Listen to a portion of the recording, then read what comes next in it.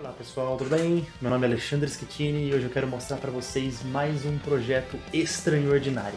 Eu quero apresentar para vocês esse mais novo projeto que faz parte do universo de, de Masroma, de Estranhordilândia, que é Masroma, a segunda leitura na voz de Jandira. Por quê?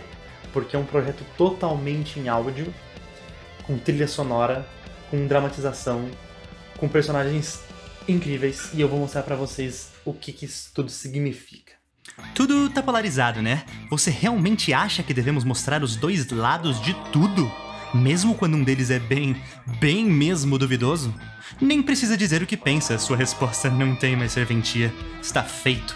Jandira Fera, a prefeita de Masroma, finalmente vai revelar a sua versão dos fatos. Aquele livro já lançado, Masroma, uma cidade extraordinária, que ela tanto tentou impedir, será lido, devidamente comentado e interpretado pela própria Jandira. Mas não se engane, não se trata de apenas uma versão em áudio de um livro já lançado.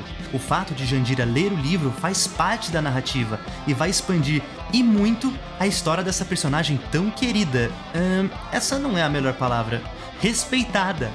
Também não. Petulante. Isso. Mas não é só isso. A história de Jandira não será expandida apenas para o futuro, mas também para o passado. Junto de Masroma, a segunda leitura, será disponibilizado As Fitas de Jandira. São seis episódios em áudio que contam um pouco do momento em que Jandira era apenas uma vermezinha adolescente. Muitas revelações e babados. Que delícia! Aí você se pergunta: Eu não li o livro original.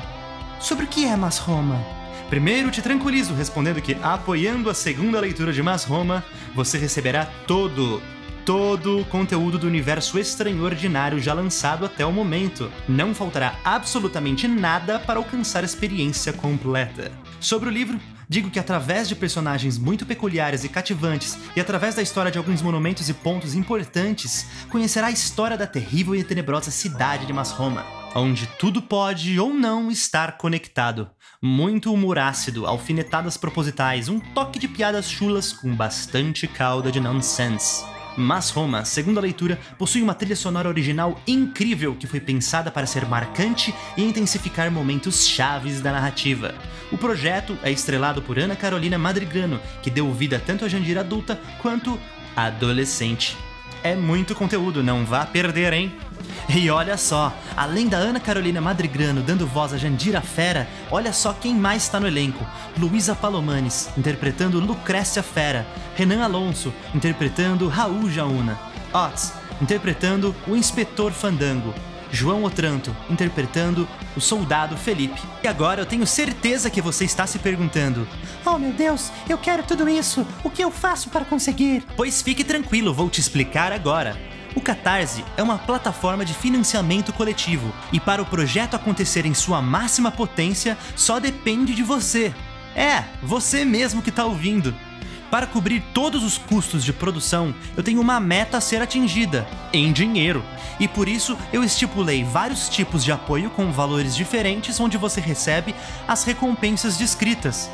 E ultrapassar a meta significa destravar novas recompensas onde todo mundo ganha, por isso, você precisa divulgar para todos os seus amigos e irritá-los profundamente até que eles façam o apoio devido.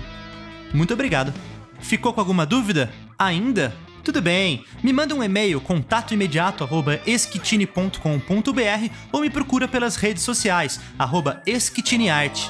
Um grande abraço e divirtam-se.